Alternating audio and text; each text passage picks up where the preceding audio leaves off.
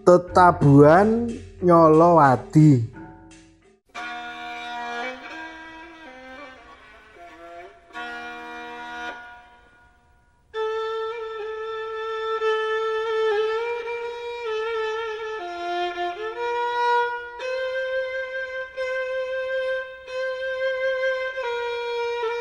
Kawit sore mau, Mulatsih lungguh ing dhuwur sedel pit montore sing dijagang ing pinggir taman monumen Banjarsari. Oleh ngudut wis entek limang ler. Nanging durung ana priya sing mara sak perlu ngenyang awake kanggo ngancani turu ing kamar losmen. Kamangka jam tangane wis nuduhake angka 11 punjul. Atine angluh, pikiran was-was, uteke jibek yen nganti bengi iki ora ana sing ngajak turu. Pangarep-arepe bakal kandas. Jagat mubeng seser. Sirahe mumet. Parti anake wadon pijer ngedrel njaluk duit kanggo nglunasi SPP sing wis nunggak telung sasi. Sekolahe wala-wali desek supaya tanggungane enggal dibayar. Mulatseh tambah jibek. Nalika wengine sang saya tuwa, yen para esuk kuwi nganti mulih nglenthung ateges parti panggah doyak-oyak tanggungan SPP. Aku ora kepengen gawe gelo parti anakku siji-sijine. Mulatseh gresah. Wis telung tahun Mulatseh ngerondo. Bojone tinggal donya merga pit montore tabrakan. Wiwit ditinggal sing lanang, Mulatseh meres keringet. Paribasan sirah kanggo sikil lan sikil kanggo sirah anggone golek duit. Pamriye supaya kendile orang guling lan golek ragat kanggo sekolahe parti. Mulatseh mupus ora arep rabi maneh. Pilih ngupeni parti Nadyan upama karep rabi maneh sing gelem isih akeh. Awit umure isih kurang saka patang puluh tahun. Nanging mulatsih dadi mamang yen ngelingi lakune bebrayan karo Paiman bojone. Awit Paiman sing biyen didomo-domo minangka gegantilaning ati jebul malah mlinjani rasa tresnane. Paiman seneng dem-deman ora mung mendem omben-omben nanging uga seneng mendem wedoan saben dina lunga bengi mulai esuk saja orang rewes marang bojo lan anake. Gaweane minangka tukang kayu dilirwakake. Uripe awut-awutan. Jroning kahanan mabuk berat pit motor sing ditunggangi nabrak wit asem ing pinggir dalan. Yen saiki mulatsih nekat dadi wanita pelanyahan dudu amarga lara ati. Nanging merga kepepet butuh. Arep nyambut gawe dadi buruh umbah-umbah utawa dadi PRT awake wis ora kuat.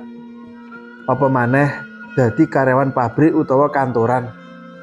Ngendi ana kantor sing gelem nampa wong mulatsih mung lulusan SD kamangka dheweke kudu ceket-ceket antuk duit kanggo ngoyak ragat sekolahe parti.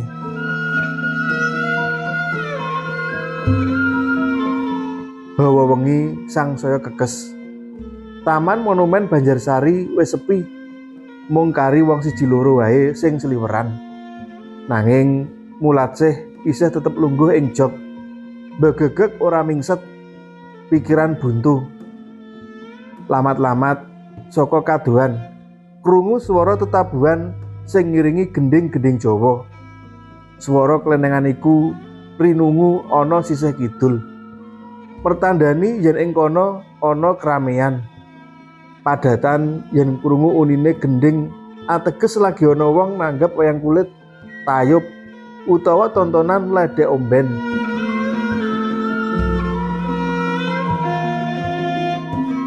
Tontonan apa wae ora wigati tumrape mulatsih sing baku ana pangarep-arep anyar.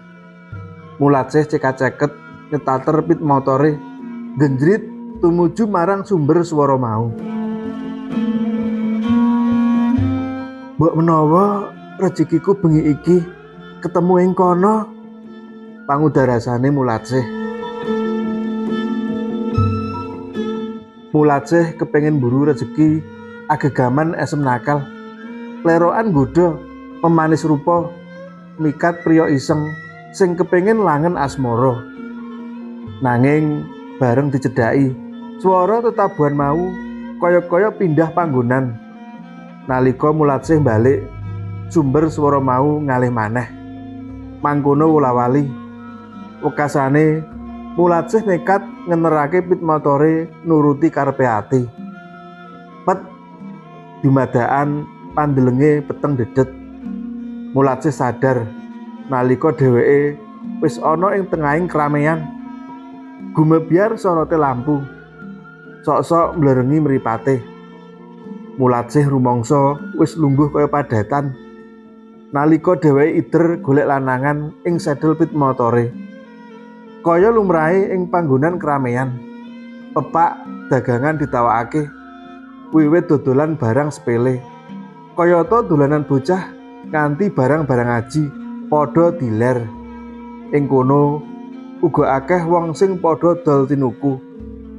Nanging suwe-suwe ombyake manungsa iku owah wujud dadi makhluk sing nganeh-nganehi. Ana kang wewujudan gembung tanpa sirah. Wanudya sing raine gudras getih. Bocah-bocah cilik gundul padha gegojekan. Uga katon wong sing padha menganggo busana necis. Nanging raine pucet lan maneh anggone padha dol tinuku mau ora ijol barang karo duit kertas.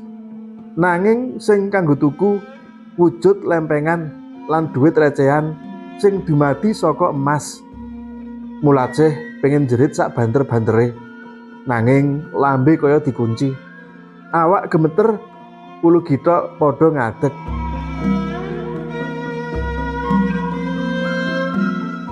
Mulatsih ora kuwawa tumindak apa-apa. Bisane mung ndeleng pating lelembut. Lelembut iku padha omong-omongan. Suarane gemrenggeng kaya tawon. Rombongan yoga utawa penabuh gamelan. Ya katon lagi nabuh kanthi laras gending-gending Jawa. Uborampe sesaji cumepak. Wiwit saka kembang setaman, melati, cempaka, kemenyan dupa lan candu. Uga ana saperangan wong lanang wadon sing padha gegandengan tangan ngumbar rasa tresna karo guyonan cekikian. Mulatsih uga weruh sawenehe makhluk lagi dol tinuku candu. Ana telung jenis candu sing disenengi. Candu ireng sing tuku bangsane lelembut pinggiran. Kayata sundel bolong, tek-tekan, pocongan, Candu kuning akeh-akehe dituku lelembut golongan ningrat lan bangsawan. Jenis jim sing penganggone kaya sentana dalem keraton lan candu putih karmane makhluk gaib jenis genderwo, peri prayangan lan banaspati. Dol tinuku candu iku migunakake kepingan duit berlian uga kuning sari utawa tembaga. Ing kono uga ketok ana mesi aji utawa pusaka arupa keris cundrik watu akik mutiara lan sak panunggalane. Sakwenehe mesi aji ing kono ora kabeh duweni sifat becik. Ana sing sipate jahat. Kanggo mangerteni pusaka endi sing duweni sifat becik utawa ala?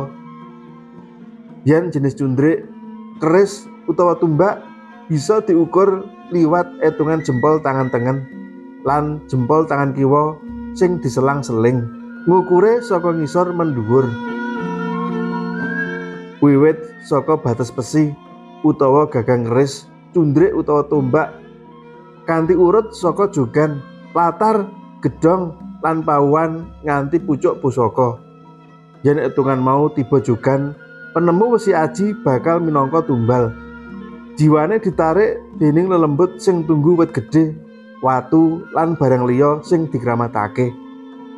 yen tiba latar panguripane sing nemu bakal asat bangkrut adoh saka rejeki.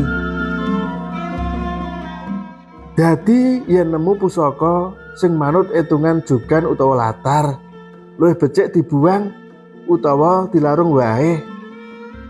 Suara bisikan ing kupinge mulatseh tanpa mangerteni sapa sing bisiki yen etungan tiba gedong sing nemu pusaka bakal antuk kamulyan pinayungan lan murah rejeki. Nalika etungane pawuan lumakune urip sing nemu bakal sarwa kecukupan akeh kancane lan bisa dadi pimpinan kinurmat. Pawuan iku paribasane panggonan kanggo madai kabeh tumindak becik lan ala nanging asile tetep bakal becik mula tumindak sing becik. Yen mengko nemu si haji ya sing becik lan migunani marang sesami. Kandhane swara nyelwadi mau. Durung entek gumune mulatsih krungu kluruke jago sing saut-sautan. Mulatsih lagi sadar yen jebul dheweke mapan ana tengahing kuburan tuwa. Kiwa tengene tinukulan suket sing dhuwur-dhuwur lan wit semboja sing ora kopen embuh saka ngendi lan sapa sing menehi? Kok ing pangkone ujug-ujug ana telung lempengan emas lan cundrik cilik. Ing remeng-remenging swasana mulajeh sadar yen lagi geblasok kuburan tua ing gumuk sing ngisore mili santer kali tempuran. Kuburan kuwi kondang angker. Saking angkere nganti ora ana jalma sing wani mara. Bejane mulajeh isih nunggang pit motor saenggo bisa enggal semingkir saka kono kari nyangking lantaan emas lan mesi haji wujud cundrik sing ditemu saka makam ranjang gumantung kuwi. Muga-muga barang iki bisa ngowahi uripku lan nuntun ing dalan kebecikan pangucape mulajeh